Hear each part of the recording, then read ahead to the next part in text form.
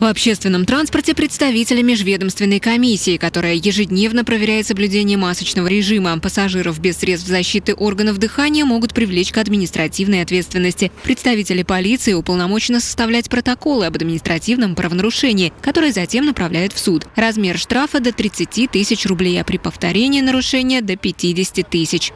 Мы призываем всех жителей соблюдать масочный режим, не упорствовать в этом, а, и надеюсь, что если да, в дальнейшем также будет у нас статистика идти, не исключаем, что, наверное, в каком-то, может быть, скором времени э, будут какие-то приняты новые решения. За прошедшую неделю в суды направили 10 протоколов. Всего с сентября 2020 года оформлено 2002 административных материала, в том числе за текущий год 1023 протокола. В общественном транспорте проверяют и сотрудников транспортных предприятий, которые во время рейсов также обязаны находиться в масках.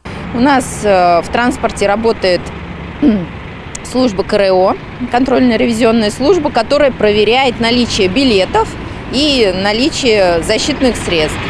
Если пассажир находится без маски, в культурной форме ему предлагается надеть это защитное средство. Жители города к правилу ношения масок уже привыкли. Ну, конечно, нужно же слушать руководство, чтобы поменьше заболеваемости было. А я постоянно в маске. И в лифте в маске, и в транспорте в маске. У большинства пассажиров маска с собой, и ее надевают без напоминания при входе в салон. Сохранять маску на лице необходимо до конца поездки. Светлана Кудрявцева, Юлия Василькина, Николай Сидоров. События.